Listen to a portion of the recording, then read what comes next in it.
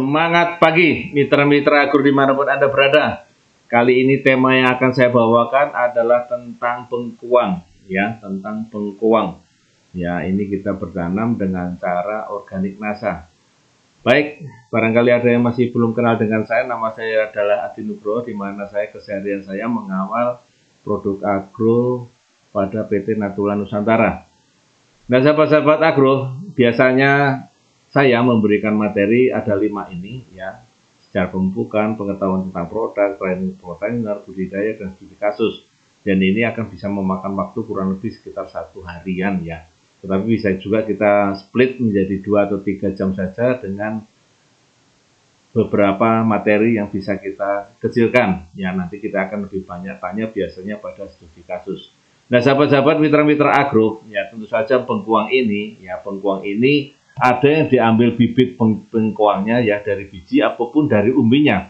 Nah sekarang kalau kita pengen mengambil dari umbinya maka calon bibit ini ya dipanen saat usianya 5 sampai 6 bulan ya sampai 6 bulan atau sedikit dituakan lah kira-kira begitu. Ya kemudian kita pilih umbi yang bagus yang tidak cacat apalagi yang busuk.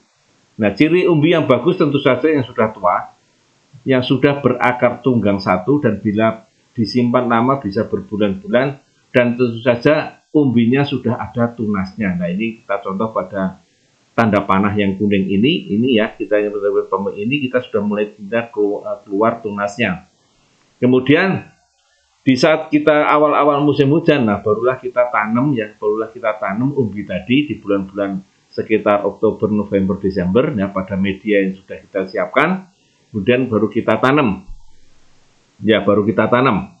Nah, kita tanam bisa di polybag, ya bisa kita tanaman di beberapa tempat yang lainnya, sampai nanti kira-kira sampai berumbi berbunga seperti itu, ya kita ambil bunganya.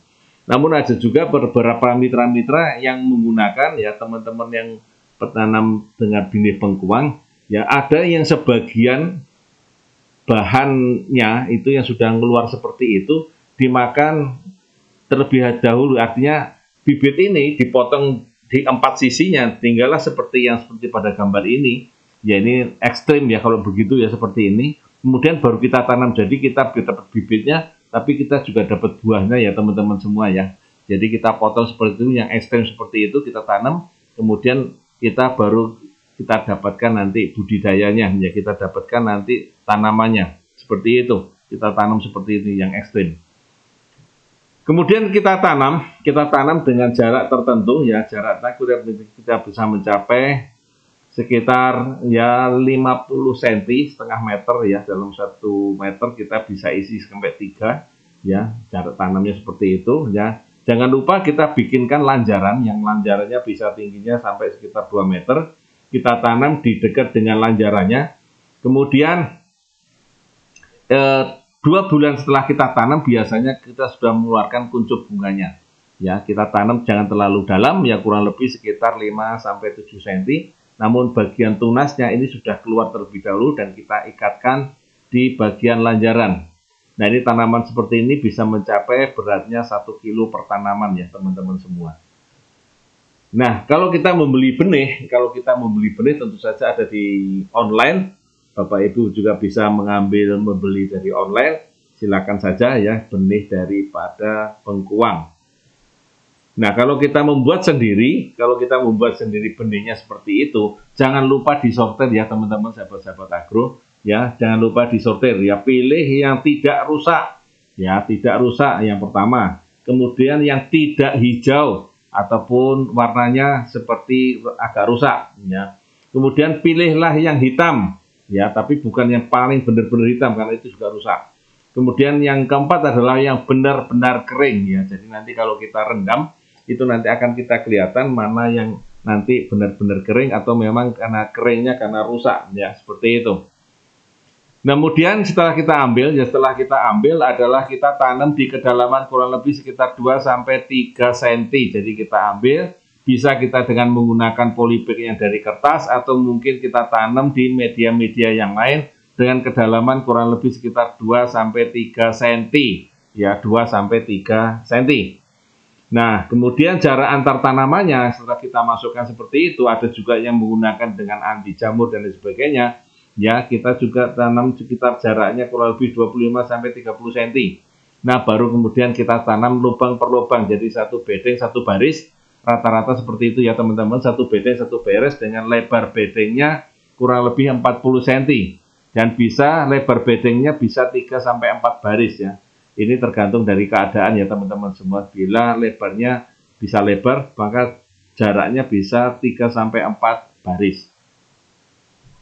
Nah, sahabat-sahabat agro, mitra-mitra agro, kalau kita menggunakan dengan polybag yang kertas seperti ini, maka kita tanam di polybag kertas ini, maka tingginya kurang lebih sekitar satu jengkal seperti itu ya. Maka itu bisa kita pindahkan, kita pindahkan ke polybag yang lebih besar. Ya, kalau polybag yang hijau seperti itu bisa kita isi sampai 6, kemudian kita tutup dengan jerami, baru kemudian kita siram ya dengan air. Tentu saja kalau bisa gini dengan menggunakan dengan supernasa dan Glio untuk membantu percepatan vegetatifnya dan mengurangi serangan jamurnya. Dan jangan lupa sahabat-sahabat mitra-mitra agro ya, saya mitra-mitra agro ini adalah dengan memangkas ya, memangkas sekaligus memangkas tanaman setelah ini satu dua atau tiga bulan ya. Jadi kita keluar jangan sampai terlalu banyak tanaman yang terlalu memanjang ya karena kalau terlalu memanjang maka yang terjadi adalah banyak nanti di vegetatifnya sementara nanti umbinya atau panennya nanti kecil dan setelah 3, 75 hari itu bunga-bunganya jangan sampai ada jadi jangan sampai berbunga. Maka kita bisa lakukan dengan pemotongan dengan cara manual dengan cara tangan aja atau dengan gunting. Nah kemudian nanti kita akan panen di usia kurang lebih sekitar 110 hari. Nah ini adalah panen sekitar 110 hari. Sekali lagi ya sahabat-sahabat agro, mitra-mitra agro ya, pada saat pemindahan kita dengan menggunakan polybag kertas ini yang kita diuntungkan adalah pada saat nanti kita memindahkan ke lahan yang lebih gede, maka tanah itu jangan sampai rusak ya, akar di bagian bawahnya jangan sampai rusak. Ya. Oleh karena itu eh, apa namanya kita pemindahannya sudah tanah pembukaan lubang di bawahnya adalah agak gembur, baru kemudian kita siram dengan air yang mengandung supernasa dan glio ya kemudian baru kita lakukan pemangkasan setelah satu dua bulan ya. Ini seperti itu ya. Kemudian lakukan pemangkasan jangan lupa kita pangkas ya. Satu kelopak itu rata-rata berisi tiga daun maka itu kita anggap sebagai satu ya teman-teman ya maka kalau kita mangkas kurang lebih sekitar 3 sampai 4 batang ya dari atas nah ini adalah pemangkasan yang dilakukan biasanya pada usia-usia sekitar 1, 2, dan 3 bulan. Ya, kita lakukan pemangkasan yang dipotong sampai kepok ya bagian bawahnya agak mepet dengan ini. Jadi kita tinggalkan kurang lebih sekitar 5, ya 5 kelopak di bawahnya. Ya, dan yang paling bawah dibuang biasanya karena biasanya berkurang ininya. Apa namanya, e, terlalu kecil ya, bagian bawah pun juga dibuang. Nah, sekali lagi teman-teman pada saat umur-umur yang masih seperti rawan seperti ini, yang pertama adalah gulmanya mesti dibersihkan terlebih dahulu. Jadi mesti rajin membuang gulma ya sekaligus juga mengemburkan tanahnya dan memberikan pupuk tambahan bila mana perlu. Ya, kemudian tunas kedua mesti dipotong. Sekali lagi tunas kedua mesti dipotong. Jadi tinggalkan hanya satu tunas saja yang memanjang. Ya, satu tunas saja yang memanjang. Kemudian pemangkasan ini tergantung dari situasinya, tapi juga kita lihat biasanya tiga minggu atau satu bulan sekali. Dan yang diambil bijinya, maka bibit yang diambil bijinya tetap dipangkas dilakukan setelah 8 sampai 10 daun, baru kemudian sisakan 5 daun di bawahnya. Daun bawah tidak dihitung ya, yang dihitung adalah yang sudah daun ketiga ya, jadi bagian bawah tidak dihitung atau mungkin dibuang saja. Nah, ini adalah penanaman pada tanaman polybag ya. Kemudian ini umur 10 hari. Kemudian ada beberapa cara pemberian pupuk makronya. SP36 dan KCL seperti itu per hektarnya akan memerlukan kurang lebih 150 kg dan KCL 150 kg ya 2 sampai 3 bulan berikutnya adalah satu setengah gram per tanamannya ya kurang lebih. Kemudian ada juga yang menggunakan dengan dolomit terlebih dahulu ya ini sebetulnya wajib ya teman-teman semua menggunakan uh, dolomit ini ya menggunakan kurang lebih sekitar 300 hingga 1 ton per hektarnya. Ini diberikan di awal tanam ya teman-teman sahabat-sahabat. Kemudian pemberian NPK-nya per hektarnya adalah kurang lebih sekitar satu bulan pertama 100 kilo. Ya, kemudian ZA, SP36 dan KCL-nya kurang lebih 30, 50 dan 30 kilo di bulan yang ketiga. Dan ini yang terakhir. Ya, pemberian ini yang terakhir ya teman-teman semua. Jadi pemberian pupuk yang terakhir pada tanaman bengkuang ini yaitu pada bulan ketiga. Ya, Nah, kemudian ada juga dengan memberikan NPK kocor ya antara umur 15 sampai 20 hari kemudian pemberiakan Ponska ya itu perbandingan adalah NPK 16, Ponska, KNO 3 dan SP36 1 banding 1 banding 1. Kemudian dicampur jadi satu, kemudian dimasukkan pada e, campuran tadi kita ambil satu sendoknya dimasukkan ke dalam lubang di antara tanaman bengkuang. Jadi di tengah-tengahnya ya seperti ini kita lihat di situ antara ada lubang di situ maka pemberian pupuknya diberikan di antara tanaman bengkuang. Kemudian Ponska juga ada yang menggunakan dengan Ponska pupuk urea, 40 plus dan sebagainya dengan 1 banding 2 banding 2. Ada juga yang menggunakan dengan mutiara 16 16 16 dengan 2 sendok makan per lubangnya. Tetap diberikan pada antara tanaman bengkuang yang sudah ditanam. Ini baik yang diambil bijinya maupun yang diambil buahnya atau bengkuangnya. Nah, sahabat-sahabat agro, mitra-mitra agro, ya, untuk penggunaan teknologi nasanya, ya kami sarankan ada baiknya dari awal tanam Bapak Ibu menggunakan dengan dolomit yang kurang lebih sekitar 300 kilo atau 3 kuintal sampai dengan 1 ton per hektarnya. Ya. Ini sesuai dengan pH atau keasaman tanahnya. Kalau ada, kemudian kita masukkan di pengolahan lahannya supaya merata, diamkan dulu, baru kemudian kita melakukan pemindahan dari bibit ke lahan. Nah, pengocoran yang pertama ini bisa kita lakukan dengan pemberian supernasa, ya supernasa, ya 6 sampai 9 kilo supernasa atau 5 sampai 7 sak granul, ya ditambah dengan 8 sampai 10 kotak glio ini diberikan pada saat penyiraman pertama atau pada pemupukan yang pertama, ya. Ini diberikan di antara tanaman tadi ya teman-teman seperti tanda pemberian pupuk makro. Ini bisa bergabung dengan pemberian pupuk makronya, ya. Kemudian penyemprotannya, penyemprotannya itu kurang lebih sekitar 3 tutup untuk di hari 15 hari setelah tanam, 4 tutup 35 hari setelah tanam, dan 3, 45 hari setelah tanam ya. Kemudian pemberian free topnya ini kurang lebih sekitar 30 hari setelah tanam ya. Jadi kita memberikan power juga bisa yaitu sekitar satu bulan setelah tanam atau 30 hari setelah tanam. Atau kalau kita menggunakan dengan free top bisa kita menggunakan dengan 2 gram per liter air ya 2 gram free top per liter air kita semprotkan.